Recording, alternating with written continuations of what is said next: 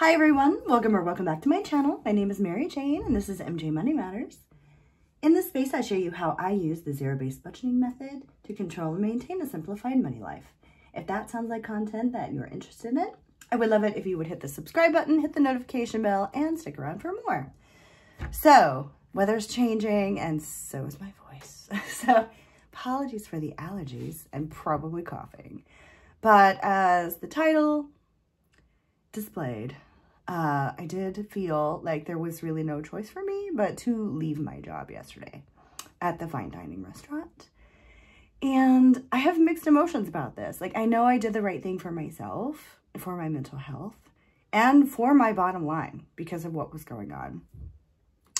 I do feel like the sooner I find something uh, more suitable, the, the sooner I find something less toxic, um, the sooner I can move forward with my goals. So um, that's pretty much that. In restaurants, you know, there are all kinds of things that can go wrong and then tempers flare, egos get in the way, and um, there are certain practices that are just not appropriate for restaurant behavior. Um, just straight up, the manager, that well, he's not even the manager, the owner, the owner of the restaurant, acting manager, um, started the pre-shift threatening us with a threat that's illegal threatening to hold our tips from us that we lawfully earned um, and not paying us. So I, you know, I already have issues with the pay there. I have serious issues with the pay there. I was supposed to be paid on Friday, asked for my check three times, and I did not get it. I had to wait until Saturday, which was yesterday. So I put it into the bank maybe an hour ago. And then, of course, I have my amount that I have to wait to uh, Tuesday to get. So um, I'm already super frustrated with the payment thing. But to threaten me and everyone else there with not paying us our earned tips, that's like a labor board issue. And I'm like, I, that was already like the red flag. Like this is, this is, I really had decided at that point, okay, I'm going to give my notice. And I was going to give them the option of a two week notice, which would then be like, no, forget it. You don't need to come in again. Probably. That was my expectation. But as things progressed, and I should say fell apart, um, it got to the point where I was personally insulted. And I was not put on the patio. And it was not fair how the sections were set up, where some people got seven tables and other people got four tables.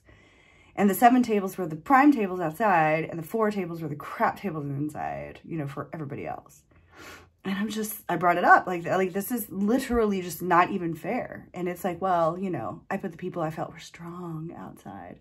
So then I was personally insulted. And at that point, I was like, you know what? I, um, I'm not going to give a notice. This will be my last day.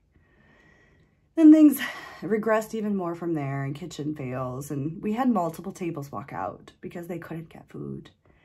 And, um, you know, I had given someone a bill for just their drinks and they didn't leave even enough to cover that. I got a six cent tip on a $150 check because they were mad that they had to wait so long for their food. And I just, you know, I have decided for myself that I want to find a place that has a 20% autograt on all tables. That is a lot of restaurants do that here in Detroit is not uncommon. I also um, would like to work someplace that has a fairer, excuse me, a more equitable way to sit tables. Um, I'm a server for a long time, and this whole like, ooh, they're stronger. It's like, okay, well, the people that are outside also never do side work. So you want me to sit in here for $3 an hour and do all the support work for them so that they can make a ton more money than me. Like, it, this is just not, it's not even adding up. So I need to exit stage left.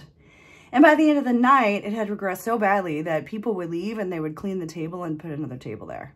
It was future mad people. And I just was like, I'm, I'm not going to take it. And I got the, you don't have a choice. Well, there's always a choice. And then I got the owner saying, if you don't take that table, you don't have a job here tomorrow. And I was like, okay.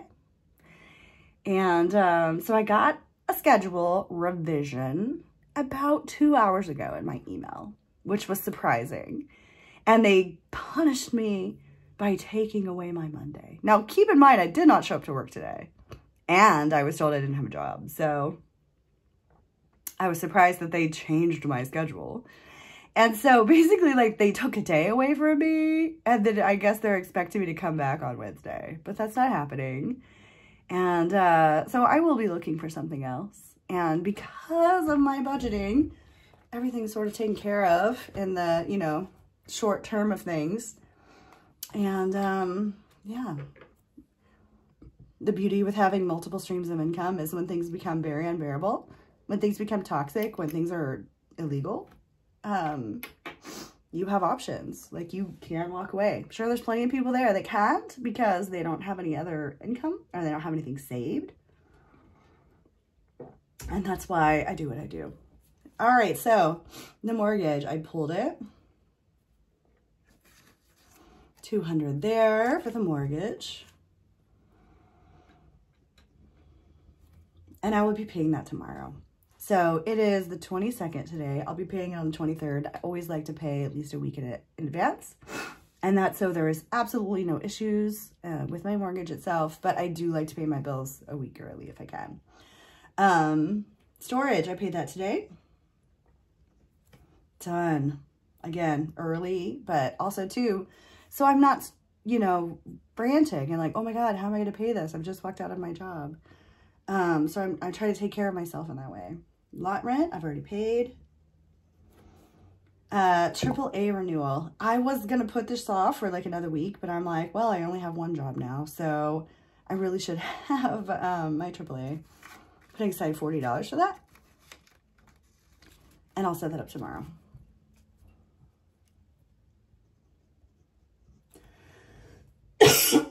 Excuse me. Net credit was paid auto insurance, $280. So what I'm going to do is that's going to be on Tuesday.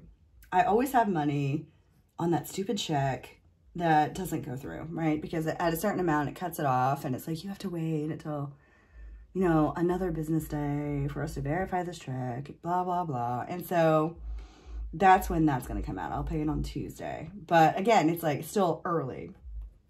Detroit Water, put aside 50, was actually 37 and that is paid. Detroit box, I'm gonna put aside $40.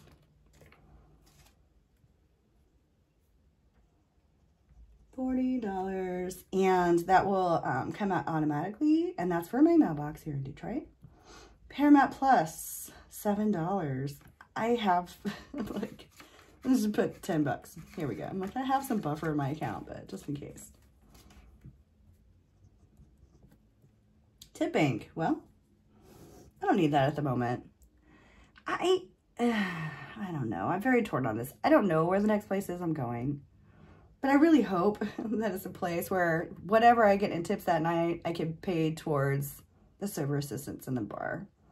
And then I'm not having to pay forward money that I haven't earned yet. I really hope that's the end of that. I don't mind keeping money as a bank for customers. Like, hey, can you break this $100 bill for me, you know? That's fine. It's the fact that I'm having every single day that I work to bring cash to pay other people when I don't get cash. It's just like, you're asking a lot. Like, I feel like I got stretched to the point where I was like a rubber band that had lost all its elasticity. I'm like, I, I can't anymore. Like, you have pushed me to the brink and I need to leave. IOU was paid. Back taxes. I'm definitely moving that. That is not a priority. It is a priority. Don't get me wrong. Paying taxes is a priority. I hate that I have the back taxes. But because of the situation that I was in, that was unforeseen, that's just going to get moved a couple of weeks until I figure out what it is that I'm going to do and where I'm going to work. And I have to go through the training period. It's usually about a week where you don't get anything. I mean, you get like maybe $10 an hour. You work a lot, really hard, actually. Um, gas was paid. And this extra $25 here, because I got a 25, I, I got a, I got a 60 gallon tank. Doll, I, let me change that.